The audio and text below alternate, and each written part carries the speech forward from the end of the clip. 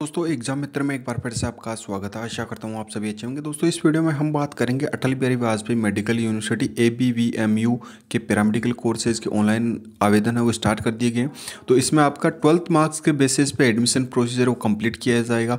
तो इसका आप अप्लाई कब से कब तक कर सकते हैं फ़ीस क्या रहेगी सारी जानकारी इस वीडियो में मिलेगी। वीडियो को शुरू से अंत तक ज़रूर देखिए। और दोस्तों, अगर हमारे चैनल पर नए हैं, चैनल को सब्सक्राइब करें बेल आइकन को दबाए, इससे कि आने वाले सभी वीडियोज़ की नोटिफिकेशन आपको मिल सके।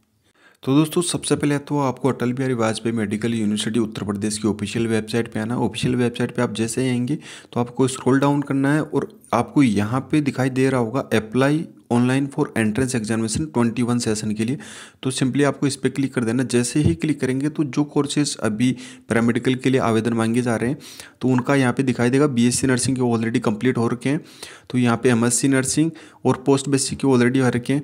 तो पैरामेडिकल कोर्सेज वाले सेक्शन में आएँगे तो यहाँ पे पैरामेडिकल में ट्वेंटी वन सेशन के लिए आपके बीएससी ऑपरेशन थिएटर टेक्नीशियन का है?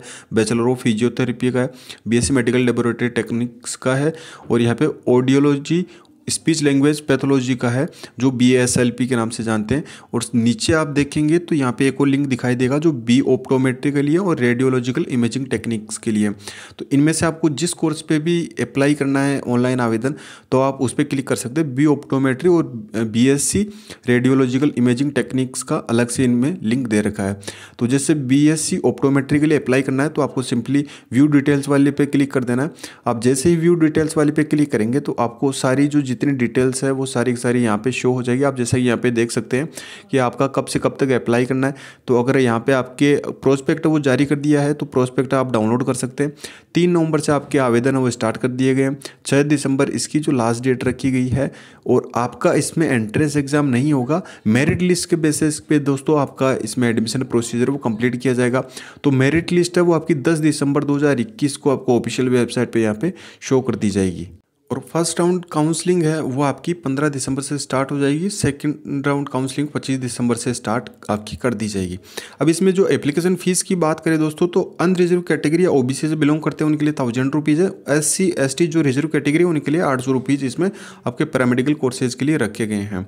इसमें आपको अप्लाई किस तरीके से अगर आपको डिटेल्स में इसकी इन्फॉर्मेशन चाहिए तो यहाँ पर आप इसका ब्रोसर है, वो भी डाउनलोड कर सकते हैं। इसमें आपको सबसे पहले रजिस्ट्रेशन करना होगा। रजिस्ट्रेशन करने के लिए आपको स्क्रॉलअप करके यहाँ पे आप देख सकते हैं अगर आपने ऑलरेडी रजिस्ट्रेशन कर रखा है तो आपको लॉगिन करना अगर नहीं कर रखा है तो आप यहाँ पे क्लिक करके आप इसका रजिस्ट्रेशन कर सकते हैं। अब काफ़ी सारे स्टूडेंट का ये डाउट था कि अदर स्टेट के स्टूडेंट अप्लाई कर सकते हैं या नहीं कर सकते तो दोस्तों, उत्तर प्रदेश के रिजर्वेशन के जो रूल्स है, उसके अकॉर्डिंग अदर स्टेट के भी अप्लाई कर सकते हैं। लेकिन इनमें उनको जनरल कैटेगरी में काउंट किया जाएगा। रिजर्वेशन का लाभ है, उनको नहीं मिलेगा, चाहे वो ओबीसी से हो एस सी से ई किसी भी कैटेगरी से हो। लेकिन उन्हें जनरल कैटेगरी में ही काउंट किया जाएगा। आप इसके लिए अप्लाई कर सकते हैं।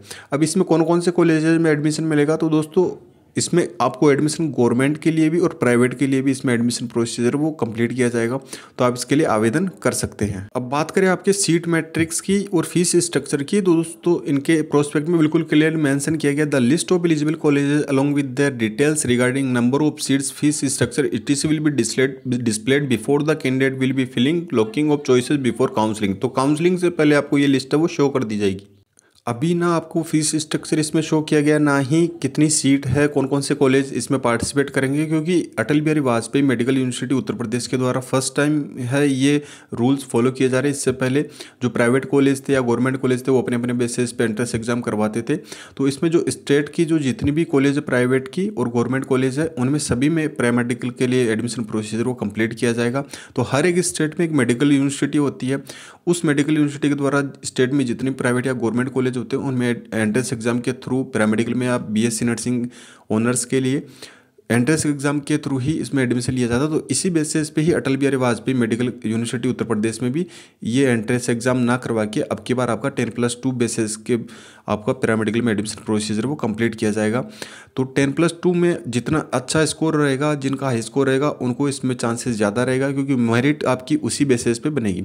अगर कोई भी डाउट है, कोई भी इश्यू कमेंट बॉक्स में पूछ सकते हैं, मुझे इंस्टाग्राम फॉलो करके वहाँ से भी जानकारी ले सकते हैं। बाकी की आप डिटेल से इनके जो प्रोस्पेक्ट दे रखा है, उसमें आप जानकारी ले सकते हैं।